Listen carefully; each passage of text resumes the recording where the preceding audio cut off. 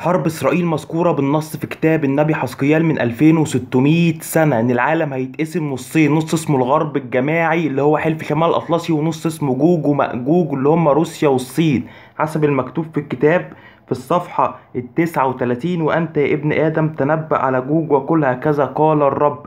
ها أنا زي عليك يا جوج رئيس روش مشاك وتبال. جوج ومأجوج دول فرعين اتفرعوا منهم قبائل روسيا والصين. هيجوا من أجل الدفاع عن العرب ضد إسرائيل أو ضد الغرب الجماعي في الحرب العالمية الأخيرة حرب نهاية الزمان حسب المكتوب وأردك وأقودك وأصعدك من أقاصي الشمال. أقاصي الشمال دي روسيا. وآتي بك على جبال إسرائيل. بوتين هيجي علشان يدافع عن الشعب العربي أو المسلمين هيجي يدافع عنهم قدام اليهود أو الغرب الجماعي. الاتنين دول هيصنعوا حرب نهاية التاريخ اللي ما حدثتش مثلها منذ إنشاء العالم.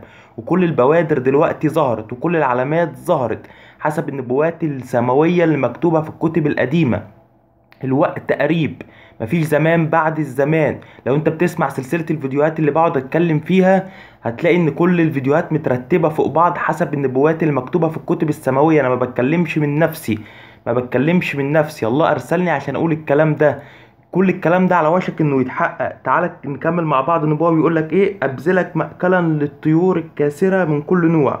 ووحوش الحقل حرب هرمجدون الأخيرة. جوج ومأجوج اللي هم روسيا والصين هيجوا من بوابة إيران وبوابة سوريا. هيجوا على طول نهر الفرات علشان يحاربوا الغرب الجماعي اللي أرسل حاملة الطائرات الأولى وهيرسل حاملة الطائرات التانية والتالتة. وكل أسطول الجيش الأمريكي هيجي في الشرق الأوسط.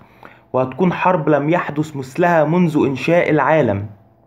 لأن الأب أصبح مستهين بابنه والابن مستهين بأبيه وصلة الرحم اتقطعت وأعداء الإنسان بقوا أهل بيته والناس اتفرقت عن بعض وروح الإدمان سيطر على كل الشباب والناس بقت محبة للمال ليهم صورة التقوى لكن منكرين قوتها. كل الكلام ده الله شافه فساء في عينه. فعجل بالنهاية علشان خاطر المختارين اللي هو حاططهم في إيده اليمنى لأنه بعد ساعات معدودة هيخطفهم من الأرض وهينزل إبليس عليكم بغضب عظيم بمجرد ما المؤمنين بالله يطلعوا من الأرض يطلعوا للسماء الروح القدس اللي فيهم ياخدهم للسماء إبليس هيسقط من السماء على الأرض بغضب عظيم لأنه عالم إن أيامه قربت تنتهي أيامه قربت تنتهي هم 1335 يوم 1335 يوم هيحاول يسيطر على كل البشر وهيصنع السماء اللي عددها كده كده كده اللي مش هذكر لك اسمها. السمة دي كل اللي هيضعها في ايده اليمنى هيكون مع الشيطان وكل اللي هيرفض هذه السمة هيكون ليه حياة أبدية. هي دي التجربة العتيدة إنها تجرب كل الديانات التلاتة. مش ديانة واحدة الديانات التلاتة هتتجرب. هتتجرب بالاختيار عشان تكشف قلوبهم مين مع الله ومين مع الشيطان. فاليوم اخرج من طريق الضلمة وادخل طريق النور.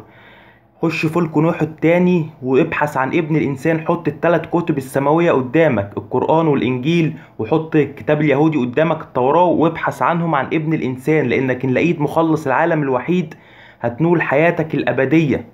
الوقت قريب إحنا مش عيبنا الجهل إحنا عيبنا التجاهل فما تستهونش بالكلمة دي وقوم ابحث الآن عن حياتك الأبدية وما تأمرش بحياتك الأبدية على ترابيزة قمار خسرانة.